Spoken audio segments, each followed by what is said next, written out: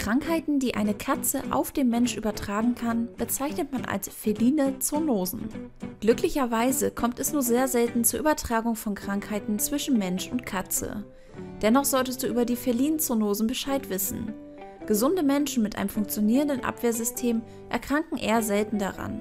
Doch bei Schwangeren, Kleinkindern oder Menschen mit einer Abwehrschwäche ist das Infektions- und Erkrankungsrisiko erhöht. Im Folgenden nennen wir dir sechs Krankheiten, die deine Katze auf dich übertragen kann und verraten dir am Ende des Videos, wie du dich davor schützen kannst. Schau es also unbedingt bis zum Ende an.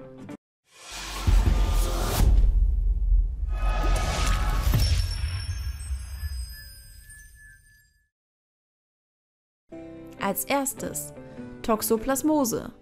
Dieser Erreger wird besonders gefährlich für das ungeborene Kind einer Schwangeren und für Menschen mit Abwehrschwäche. Infiziert sich eine Schwangere mit diesem Erreger, dann kann dies zu einer Fehlgeburt oder zu Behinderung beim Kind führen. Hat die Betroffene bereits lange vor der Schwangerschaft eine Toxoplasmose durchgemacht, dann verfügt sie über Antikörper, die auch das Ungeborene schützen. Ob dieser Schutz besteht, kann man mit Hilfe einer Blutuntersuchung herausfinden. Als zweites Magen-Darm-Infektion. Hierzu gehören Parasiten wie Würmer oder Salmonellen. Die Folgen dieser Infektion reichen von harmloseren Durchfällen bis hin zu schweren Magen-Darm-Erkrankungen mit hohem Fieber, Kreislaufproblemen und starken Schmerzen. Hakenwurm- und Spulwurmlarven können auch innere Organe und die Augen befallen und dort zu schweren Schäden führen. Als drittes Wundinfektion. Im Mund der Katze und an ihren Krallen befinden sich viele Erreger, die Wundinfektionen und sogar Blutvergiftungen hervorrufen können. Während du oberflächliche Kratzer selbst mit Wunddesinfektionsmitteln reinigen kannst, solltest du tiefe Bisse und Kratzer immer ärztlich untersuchen lassen, auch wenn sie kaum bis gar nicht bluten. Als viertes Katzenkratzkrankheit. Diese Krankheit wird durch Bartonellen verursacht, die über Katzenbisse oder Kratzer, aber auch durch Floh- oder Zeckenstiche übertragen werden. In den meisten Fällen sorgt das menschliche Immunsystem dafür, dass die Bartonellen unschädlich gemacht werden bevor es zu Symptomen kommt. Selten führt die Infektion allerdings zu Entzündungen der Lymphknoten, die mit Fieber und Schmerzen auftreten.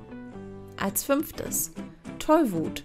Das Tollwutvirus befindet sich vor allem im Katzenspeichel und gelangt über kleine Wunden wie Kratzer oder Bisse in den menschlichen Organismus. Bei Verdacht auf eine Tollwutinfektion muss bereits vor den ersten Symptomen gehandelt werden, damit man diese Krankheit überlebt.